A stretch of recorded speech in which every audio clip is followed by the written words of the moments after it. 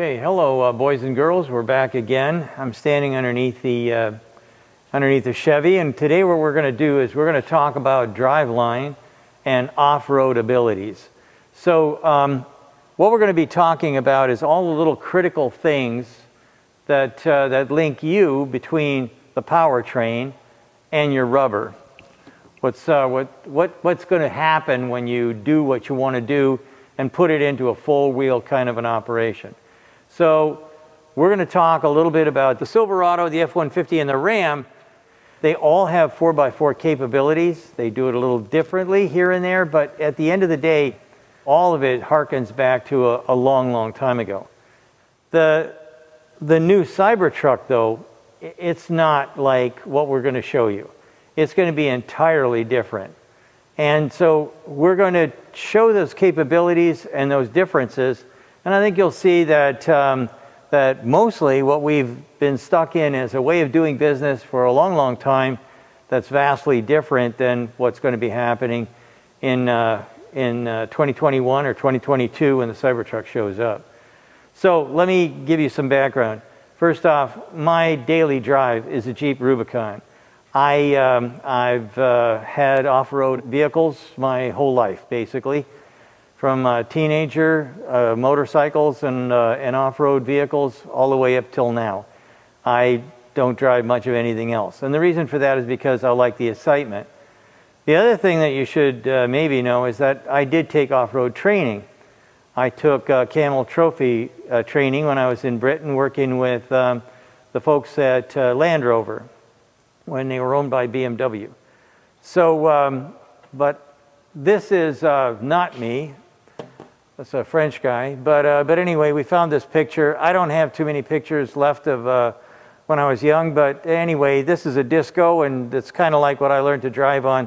And when you take the, the driving uh, uh training from the folks over at, uh, at Land Rover, you really learn what a, what a, what a true off-road experience should be.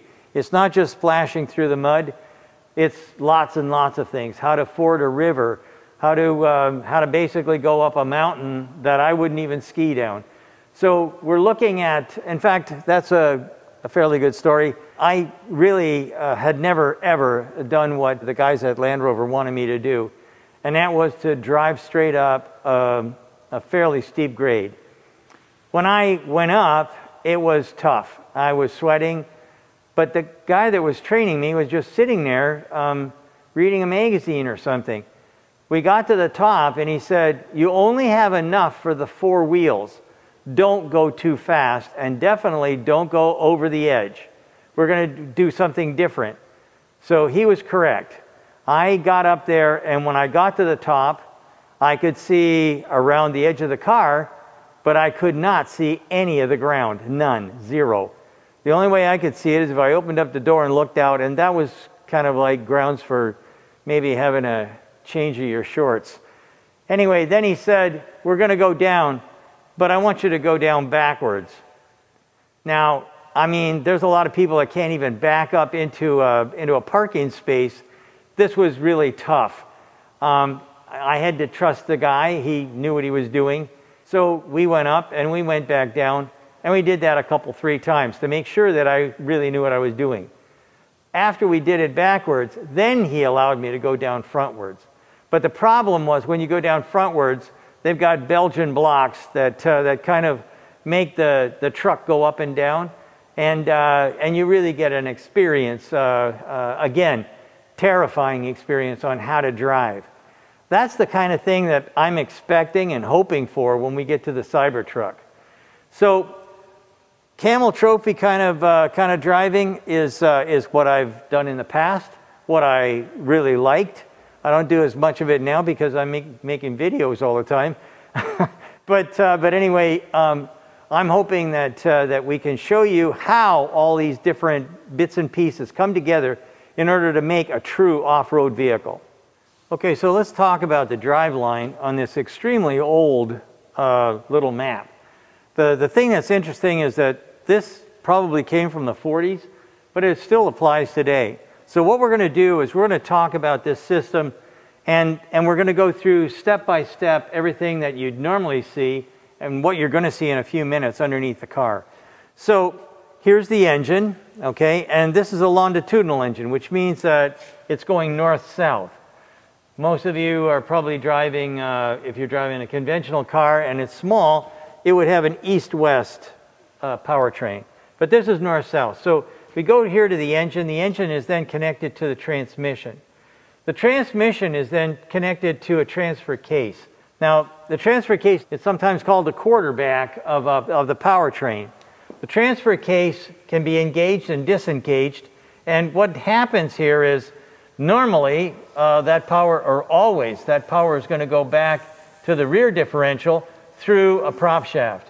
This one is going to be engaged and disengaged, which means that the front drive shaft, the front prop shaft, it's going to be eventually turned on and off. It goes into the front differential. The front differential then will distribute the, the power to the wheels. So let's walk underneath and we'll see what that looks like in a modern vehicle. So first off, let's look up here. This, is, um, this area here is very difficult to see, but this is where the engine is, up in this area here. In back of it is the, uh, is the transmission. So the transmission and the engine usually are dropped in at the same time. And in the case of four-wheel drive vehicles, usually the transfer case is here.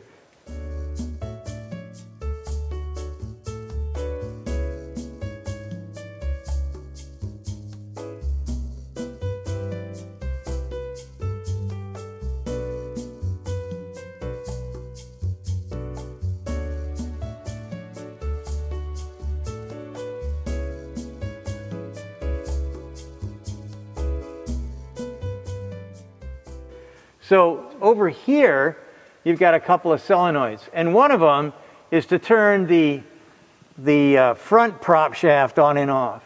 Remember we talked about the rear prop shaft. That's this one over here. And that's going to the rear differential in the back.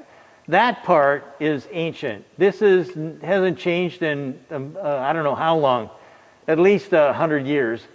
It's, like I say, old, but it still does the job. So let's go back over here. Here's the prop shaft, and you can see right now that it's disconnected because I can turn this, and you don't see anything else turning. So this is stationary because that solenoid is disconnected.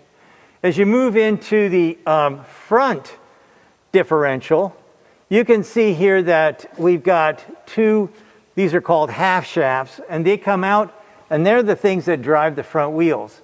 So you can see as I turn this, normally in a differential, you'd see the other wheel moving, but in this case, that doesn't happen. So now, how did that happen? Well, this has uh, something that's uh, a little newer. Um, it's this black thing right here. And uh, this is called the um, front axle disconnect.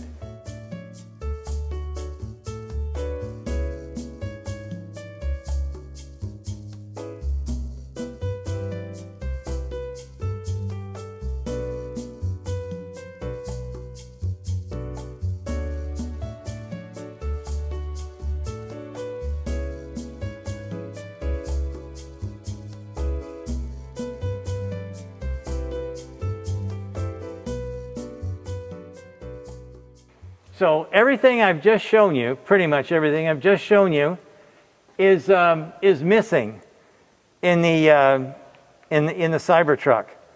Um, almost everything here that I've talked about is going to be disappearing because the Cybertruck is so radically different. Okay, boys and girls, uh, we talked about the um, differential, but now we're going to go into a little more detail. So I know that I've in, in, the, in the responses that we've got that a lot of folks are really interested in how cars work, but really don't know. So I want you to watch this wheel and this wheel, and I want you to look at that paint spot that you're going to see.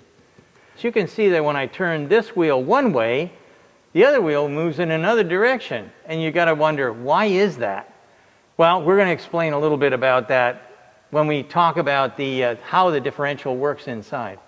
Inside here, is like little magics that happen, and it doesn't matter whether it's on this uh, Chevy Silverado or that Ram or the F-150, or in this case, the Model Y. This is the diff that came out of the Model Y right here. And I'm going to show you a little bit about how they work. So let's turn this thing sideways. So what happens when you're turning a corner is one wheel, let's call it, uh, let's call that the outboard wheel on uh, my right. The outboard wheel is going to have to turn a little bit faster than the inboard wheel. And the reason for that is because the distance traveled on the outside is going to be longer than what you see on the inside. This is the little magic box that makes that happen. So here you're getting the direct drive, and here you're finding that this, this little doodad right here, this is connecting to the two ends of the, uh, the shaft that goes to the right wheel or the left wheel. And this makes the wheels turn at a different rate so that you can get that, uh, that, that change, if you like, in direction. So one is going to be failing while one, or sorry, fading, I should say, and the other one is going to be uh, moving a little bit faster. So I will tell you that um, this is classified as what we call um, an open differential. There's a second that's called a limited slip differential. That's uh, for, uh, for restraining the amount of movement that you want to have between the wheels. And the last one, the locking diff, uh, that, that basically, as it implies or as it says, is locking the rear wheels so there is no there is no uh, change between the wheel on the outboard side or the wheel on the inboard side. And the reason you're doing that is because you're going slow, you're going up basically big rocks, or you're into swamp, or you're into desert, or you're into just having fun.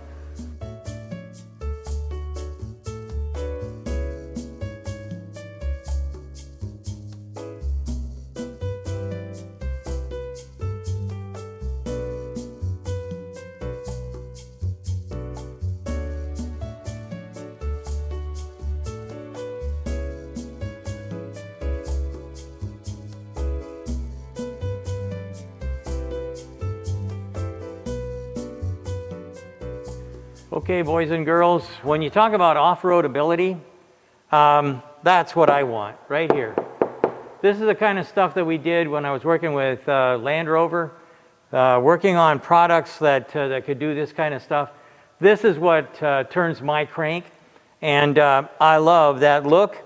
And what we're going to do is a little bit of uh, a little bit of conversation on the unique features that are in the in the Cybertruck things that I've already talked about, but this is the wrap up. So the first thing is a variable height. If I'm going up something that looks like that, I want to be really high. And this thing, all by itself, has got 16 inches of ground clearance. That's, uh, that's pretty, pretty amazing. But when you go over and start looking at um, the comparison between the Cybertruck, the Silverado, the F-150, and the Ram, things become abundantly clear. So let's have a look. Let's look at the length. Let's look at the width. Let's look at the height. I said before that I, I thought that the, the Cybertruck was vastly different, but this is telling me that they did their homework in checking out who the competition might be. Let's talk a little bit about approach angle. Now, approach angles are uh, something, that, uh, something that guys that go off-roading are very interested in. I'm not going to go into a lot of uh, depth but see this, 35 degrees?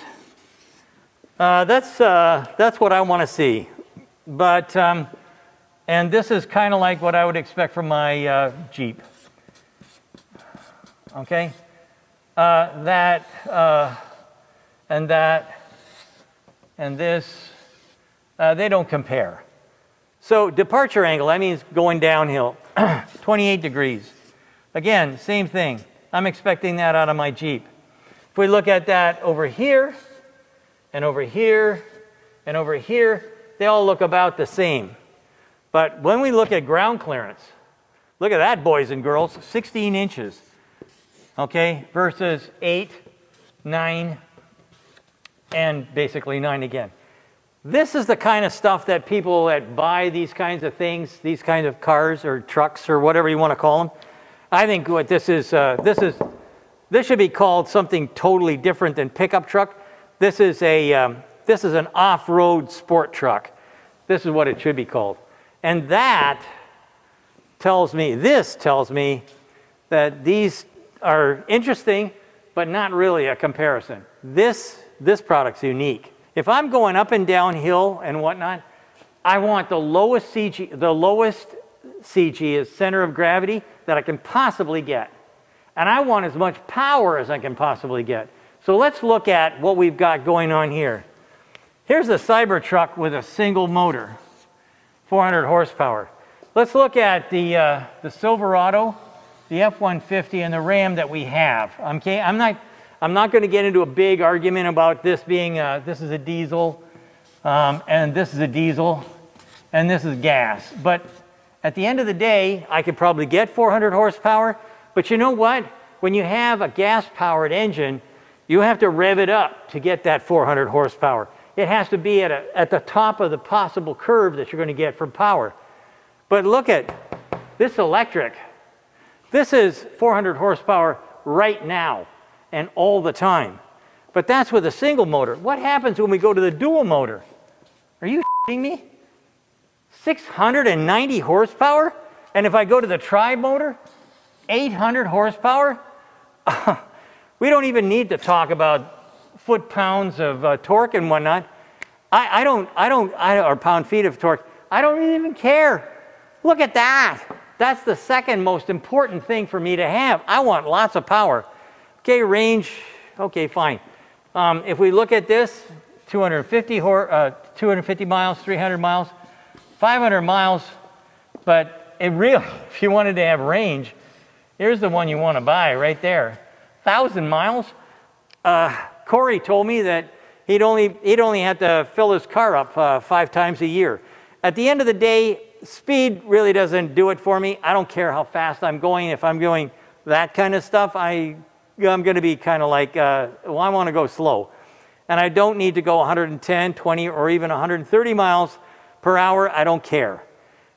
What I'm really concerned about if I'm going to be driving a truck like that is, be, is, is joining the Endo Club. Now, if you're not uh, uh, not an off-roader kind of guy, endo means nothing. What does that mean? Is that endoscopic? Ugh, let's not talk about that. No, endo means you're going to go endo, endo, and uh, turn your car upside down, and, and it's going to be ugly. You're not going to be a happy guy. Endo is not what you want. I, I'm telling you, what you need to do is you need to have a look at the, um, the video. The video that's going to show you what happens when this thing rolls over it rolls over and then rolls back up. That is a key feature for anybody that's going to be off-roading. So when we talk about off-road capability, all of these things that I've just talked about, all of those come into, into play. But the one that really blew me away was the fact that this can roll over and roll back right on its wheels first time. This is not a pickup truck. Forget it. This, this is the off-roading truck that everybody who's like me would like to have. Anyway, thanks so much for tuning in. Uh, I hope you enjoyed it. We really appreciate any, anybody who needs anything designed or redesigned. Uh, give, us, uh, give us an email at sales.leandesign at leandesign.com. And again, please keep on tipping those gals and guys that are at the cashiers. They need it, uh, and we need them. So, anyway, have a great day, and uh, we'll see you next time.